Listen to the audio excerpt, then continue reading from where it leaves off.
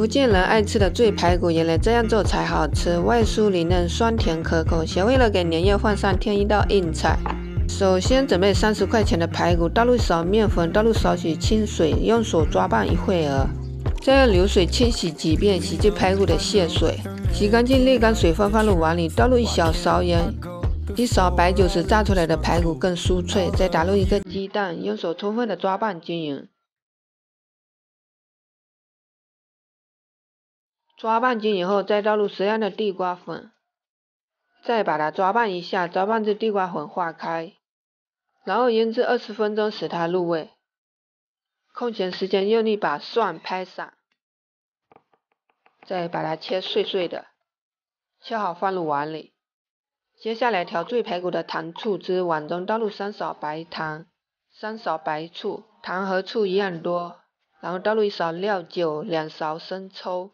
一勺香油，两勺番茄酱，再倒入一勺芝麻酱，使醉排骨更香。少许盐，适量的胡椒粉，十三香，这样非常好吃的醉排骨酱料就调好啦。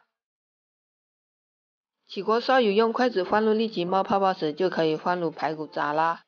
一块一块的放入，防止粘连在一起。先别急着去翻动它，等炸至定型后翻一面炸。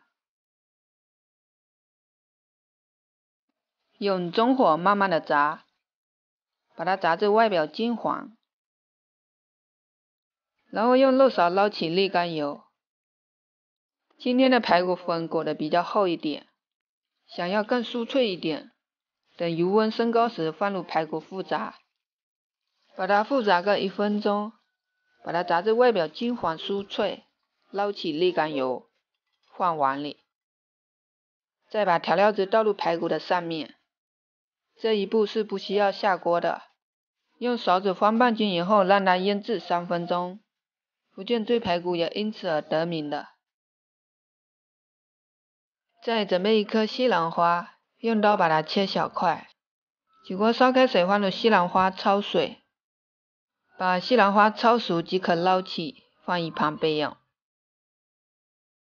把腌制好的排骨放入盘子里。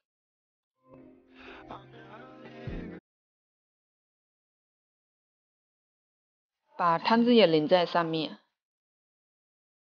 再把焯熟的西兰花摆在排骨的旁边，这样好看又好吃的福建醉排骨就做好啦。外酥里嫩，酸甜可口，年夜饭上来一道鹅意富贵花开。好了，今天的视频就分享到这里了，我是明贤，我们明天见，拜拜。